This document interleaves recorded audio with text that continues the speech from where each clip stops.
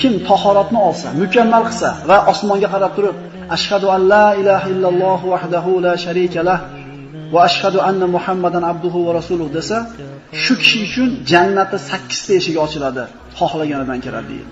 Ya'ni tahorat degan matiga suv yetmay, mati qolib ketmaydi. Tahorat olganda chig'anada qarab qo'yinglar, birodarlar. Ana shu farz bo'lgan azrodan bittasi chig'anami? gacha deganda nima qilamiz biz? Chig'anag'igachani tushunamiz. Bizga chig'anag'i bilan deyish kerak. To'g'rimi? Yuzimizni yuvganda qaraylik-da, ayniqsa bolalarimizga mana shu yerdan yuvadi. Birodalar, tahorat tahorat bo'lmaydi, namoz bo'lmaydi. Hadisda kelishicha, tahoratni mukammal qilsa va osmonga qarasa albatta.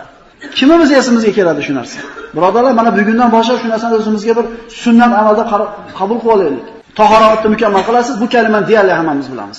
Ashhadu an la ilaha illalloh wahdahu la sharika la va ashhadu anna Muhammadan abduhu va rasuluhu. Jannatni 8 teshiga ochiladi, xohlaganidan kir deyiladi. আচ্ছা খালি ওই কথা শুরু